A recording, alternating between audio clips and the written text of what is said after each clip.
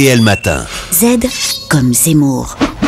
Bonjour Éric Zemmour. Bonjour. Alors dimanche, le premier tour des législatives, les sondages et les premiers résultats du vote des Français de l'étranger nous donnent quelques indications, mais évidemment Éric, vous avez noté, comme nous tous d'ailleurs, qu'à quatre jours du scrutin, eh bien, on ne peut pas vraiment dire que la France soit, soit mobilisée par euh, ce vote et, et retienne son souffle. Ah oui, on s'en moque, on s'en fiche, on s'en fout. On en a cure, on s'en bat l'œil. Bon, je m'arrête là. Oui. Je sais, la campagne présidentielle suscitait parfois les mêmes sarcasmes désabusés pour une participation finale remarquable. Mais cette heureuse surprise ne se renouvellera pas pour les législatives. On est prêt à en prendre les paris.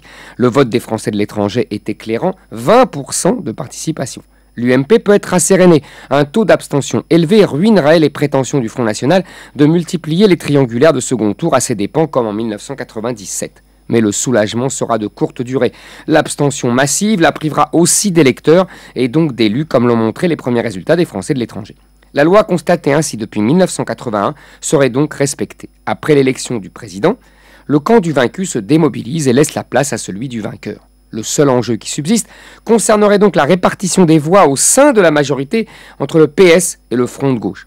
Question politique, voire politicienne. Les législatives sont redevenues une affaire de professionnels. Entre professionnels, épuisés et là, comme on le voit à Hénin-Beaumont.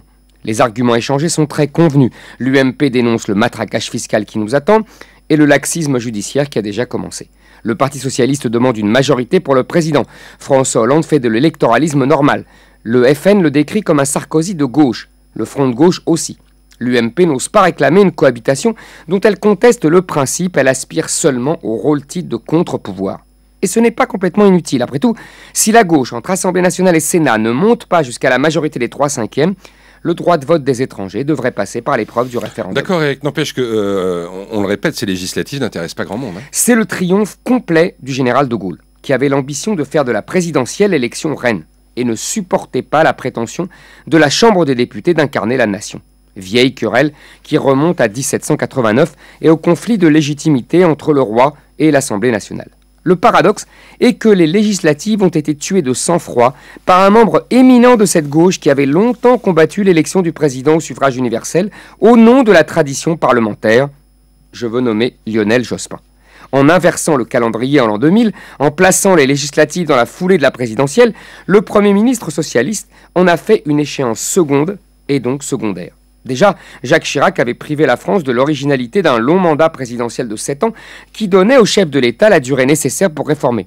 De nombreuses voix s'élèvent désormais pour qu'on achève le travail et qu'on regroupe les échéances au même jour. Car tout le monde sent bien que cette campagne des législatives est celle des faux semblants. Le gouvernement ne dit rien, enfin rien de désagréable, c'est déjà les vacances. Mais la rentrée est pour le lendemain du 17 juin, une rentrée chaude, avec l'été. Et c'est signé Z, Z comme Zemmour, c'est chaque matin sur RTL Éric Zemmour, vous le retrouvez sur rtl.fr. Et donc à demain Éric, je vous À souhaite demain. une bonne journée.